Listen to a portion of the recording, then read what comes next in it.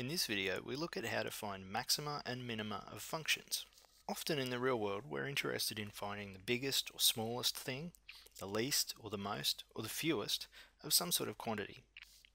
When you can write that quantity as a mathematical function, then differentiation and calculus are how we can find the things that we're interested in, those biggest or smallest or least or most or fewest.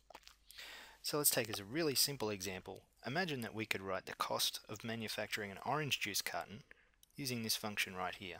c of x equal to h squared minus 7.4h plus 14.7 cents, where h is the height of the carton. And if we were asked to find what size carton is the cheapest to construct, a simple way to do it would be just to graph that function and find where the cost value is lowest, which is right here. So we can figure out that it's roughly about 3.5 for h. So the height of the carton that would be cheapest is 3.5. Now, we can actually figure it out exactly though if we use our calculus, differentiate this function, find where that minimum occurs. So this video is all about that. So let's make it a bit more generic. We're talking here about local maxima and minima. The local maxima and minima are just regions on a curve where it appears to change direction from being moving in a positive direction to a negative direction. Okay, so in other words, where the curve changes from increasing to decreasing. So a local maximum would be somewhere like this, or this, or this one over here. And minima are where it changes from a decreasing curve to an increasing curve, so somewhere like these points. Now remember that the first derivative is the thing that tells us about the slope of a curve at any point. So if the first derivative is positive, then the function is increasing, something like these points, these points here. We have a positive derivative. If it's negative, the function is decreasing, so like these ones. So when the derivative is zero, the slope of the curve is horizontal, like these places here.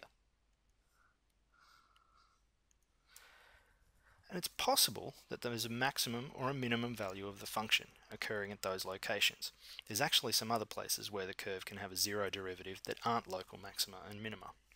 So what we're going to do to try to find maxima and minima is find these points where we have zero slope and where the slope changes from positive to negative or alternatively negative to positive. So that's how we're going to try to find them. So these points where we have a zero derivative, they get a special name. We call them either critical points or stationary points. So critical because they're important, or stationary because they're kind of where the, where the curve stops for a moment. It's not increasing and it's not decreasing. Now these kinds of points where the derivative is zero, they can be local minima, like this one down here. They could be local maxima, like this one. Or they can be what we call points of horizontal inflection, like this one. Now the derivative there would be 0, 0 slope of the curve, but it's neither a maximum nor a minimum, so that's a point of horizontal inflection. Now if you're wondering about the local point, instead, instead of just being a maximum or a minimum, we've got that special local sitting in front of them, and that's just because it means in that neighbourhood, that's the maximum. So a little bit to either side is always less than that point. And down here at the local minimum, a little bit to either side, it's always more than that minimum this function actually keeps on going up like this and down like this. So this point isn't the minimum of the function. The minimum of the function doesn't exist. It goes off towards minus infinity. And similarly, this one's not actually the maximum of the function. It's just a local maximum. So being specific with that terminology is actually important. So how do we find these things? Well, the first step to finding where maxima and minima are is to locate the critical points. So finding them is this four-step process. First, we differentiate the function, we set that derivative to zero, and we solve the resulting equation to figure out what the x value is. Once we have that, we substitute the value into the function to find the vertical location, and that gives us the critical points of the function. Not necessarily the local maxima and minima, but it's certainly one step along the way. So let's try it out with this example. We've got to find the critical points of y equal to x squared minus 4x plus 7. And I've just done a quick sketch of it here, and we can see that there's should only be one of them, and it should be roughly at x equals 2, I think. So let's see what we've got to do. First, we need to differentiate the function. So we have y dash is 2x minus 4. Then we need to set the derivative equal to 0. 0 equals 2x minus 4. Solve that for x. So we rearrange, we get 2x equals 4. And finally, x equal to 2, just like I thought. That seems to be the only one point. And finally, substitute that value into the function to find the vertical location. So y at 2 equals 2 squared minus 4 times 2 plus 7, which is 4 minus 8 plus 7 is 3, I think. So we have that the critical point is the point 2, 3, which kind of makes sense if you look at the picture. 2 and 3. So that's our only possible critical point for that function. Now depending on the function you could get all sorts of things there. You can have more than one critical point. Uh, some, some curves have no critical points. Uh, it really depends on the function.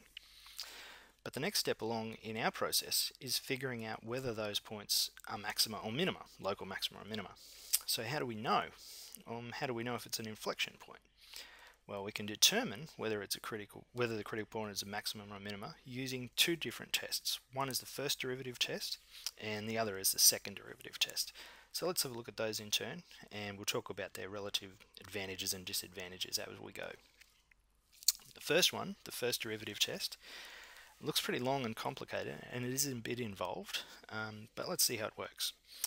Basically, let's say we have a function and we've figured out one of its critical points, x equals c and y equals f of c. What we need to do is evaluate the derivative a little bit to the left and evaluate the little bit to the right and see what happens to the derivative. Now basically this is all about figuring out whether on one side of the critical point is the function decreasing then increasing or is it increasing and then decreasing. Or is it doing neither of those two things? So what we have here is that if the uh, if the derivative changes from being negative to the left of the critical point to being positive to the right, okay, then we've got this sort of situation. It's decreasing, then it's zero, then it's increasing, which means we're going through a local minimum on our curve. On the other hand, if it changes from being positive to the left of C, our critical point, hits zero at C and then goes to being negative, so something like this, then our curve's going through a location of a local maximum. If the sign of the derivative doesn't change, so if it's positive then zero then positive, or negative then zero then negative, we're going through an inflection point. Okay, so the first derivative test is a bit messy, but it does tell us all three possible cases. It can identify all of them. So let's try it out with this example. We've got the function y equals x cubed, etc. Find the critical points, classify them with the first derivative test. So our critical points, let's first of all get the derivative, dy dx is going to be 3x squared minus 6x minus 9. Set that to 0. Oops, that's minus 9. And solve. Now our quadratic formula tells us that x is 6 plus or minus the square root of 36 minus 4 times a times c is 108 oh, plus. Over 2 times 3 is 6 and we get 6 plus or minus the square root of 144 over 6 that's 3 and minus 1 so we have critical points at 3 and minus 15 by substituting 3 into the function, and minus 1, 17. Again, the same thing, substitute minus 1 into the function. So, are they maxima or minima, local maxima or minima? Let's use the first derivative test to check that out. So what we do is we look at each of the critical points in turn. What we need to do is look at the value of the derivative on either side of the critical point. So first of all, we want to look at a value of x equals 3. We already know that the derivative at the critical point is 0. And the first derivative set, test says to look a little bit to either side of the critical point. So I'm just going to go with 2 and 4. Now it could be as close as you like, and actually the closer it is, the better it is, and the more real the result will be. But for this one I know it's going to be okay with 2 and 4, so let's just work with those. And from my previous slide the derivative is 3x squared minus 6x minus 9.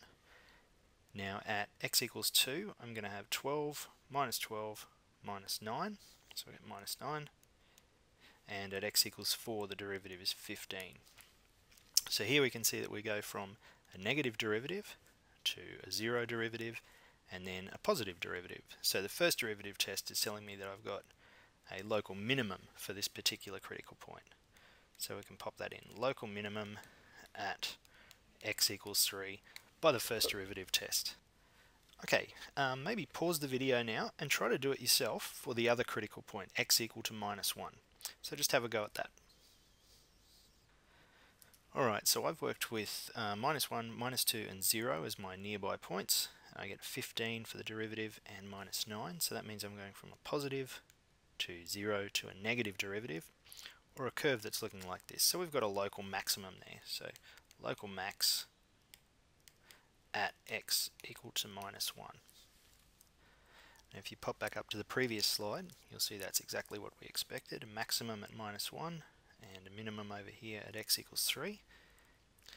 And everything's worked out in this case. Um, the problem that we haven't seen here, the problem with the first derivative test, is that we've been completely arbitrary about how we chose these nearby values.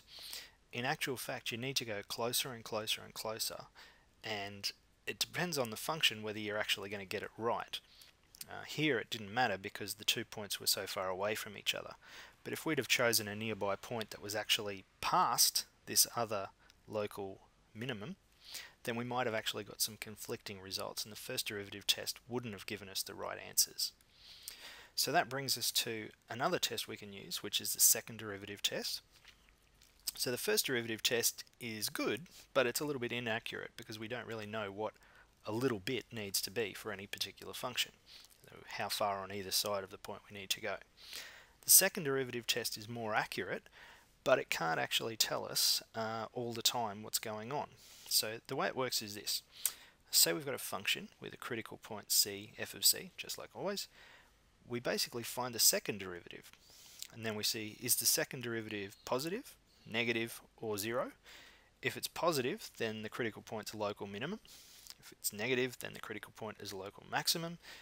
But if it's zero, we can't actually use this test, and we then have to go back to the first derivative test anyway. So it's a bit easier, it's more accurate, but it doesn't always work.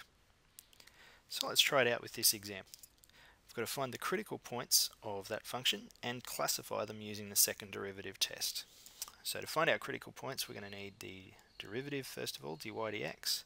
It's a polynomial, so it's not too difficult. 12x squared minus 6x minus 90. To find the critical points, we're going to set that to 0. 0 is 12x squared minus 6x minus 90. And then solve the quadratic, we get x equal to 6 plus or minus square root of 36 plus 4,320. I did that one on the calculator. And over 24. So the this is actually, the square root of this is just 66. So we've got 6 plus or minus root 66 over 24 which means we've got 3 and 2.5 negative as our critical point location. So that's all the same as last time. Here's where it differs. We're going to use the second derivative test. So we have f of x equal to 4x cubed minus 3x squared minus 90x plus 120. We already know the first derivative is 12x squared minus 6x minus 90. And now we need the second derivative. So f double dash x is going to be 24x minus 6. So we need to evaluate that at each of our critical point locations. So at x equals 3, we have f double dash at 3 is 72 minus 6, which is 66. So f double dash is positive, and that tells us at x equals 3, we have a local minimum positive gives a minimum. At the other point, at x equal to minus 2.5, f double prime minus 2.5 is minus 66 this time, which is less than 0. So at x equal to minus 2.5, have a local maximum. So it's worked out okay in this case. We can just check that. Got our local maximum, yep, and local minimum. So all looks pretty good. So there's uh, how we find critical points for curves and how we find whether they're maxima or minima or points of horizontal inflection. Okay, make sure you go out and have a go at some of the worksheets for this because this kind of work is the theory behind what we do in the next couple of videos as well.